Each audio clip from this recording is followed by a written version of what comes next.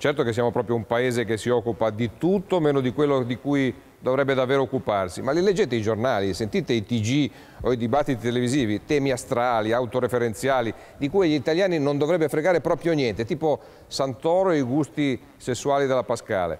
Sembriamo tanti tafazzi in preda a farci del male da soli. Chissà a quale sindrome corrisponde questa autolesionistica tendenza. Gli italiani rifuggono dalla responsabilità, dall'impegno, dai sacrifici anche, ognuno preferisce scaricare sul suo vicino i compiti che dovrebbe svolgere. Per questo siamo il paese dello scaricabarile continuo. Ma veramente io volevo dare la colpa ai giornalisti. Certo, Claudio Velardi, da buon cattivista qual è, segue il precetto di Woody Allen e ci bastona tutti indistintamente. Per esempio, non sono forse stati i media a montare il caso Pripke? Dico io, quelle esequie erano davvero un problema capitale?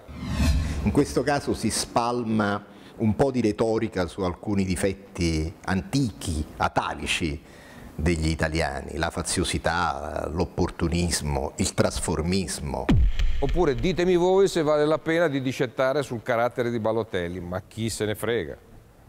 Se a Balotelli una senatrice della Repubblica dice che è imbecille, lui farebbe bene a rispondere. E il tema non è centrale, lo fanno diventare centrale spesso i politici. Dunque per Velardi non andava sollevato il caso dello stipendio di Fabio Fazio. Sono due considerazioni da fare. La prima è che la sinistra difende lo stipendio di Fazio e non gli altri stipendi milionari. Io vorrei capire perché. La seconda è che lo stipendio di Fazio va benissimo, ma se la RAI si orienta in via definitiva verso il mercato. Altro esempio, ma è normale che sia Celentano a dire se le grandi navi da crociera possono o meno entrare in Laguna Venezia? Ma perché non canta, dico io? Lui può dire quello che vuole, ha tutto il diritto di farlo, il problema è che c'è poi chi dovrebbe decidere che deve farlo eh, indipendentemente da Celentano.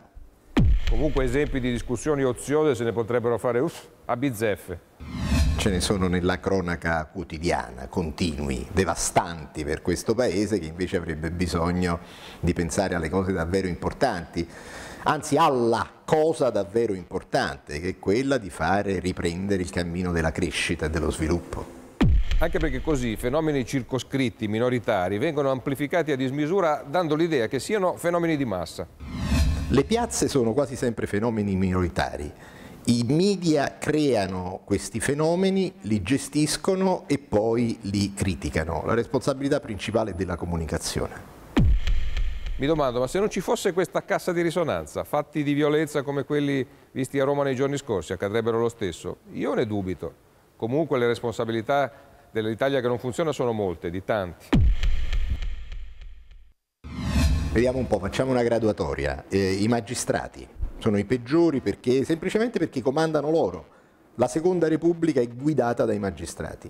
A seguire subito dopo i giornalisti, perché fanno l'agenda sulla base di quello che i magistrati vogliono.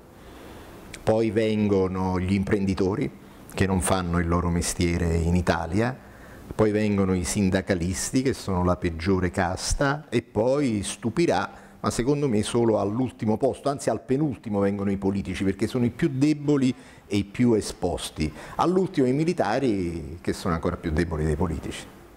Io invece penso che al primo posto vada messa la politica. Credo nel primato della politica e dunque quando un paese non funziona, declina, penso che la maggiore responsabilità sia quella del sistema politico e istituzionale. Si dice ma spesso è sotto schiaffo. Ecco appunto, io nella vita applico il principio che se vola una sberla la colpa è di chi se la fa dare. Sigla.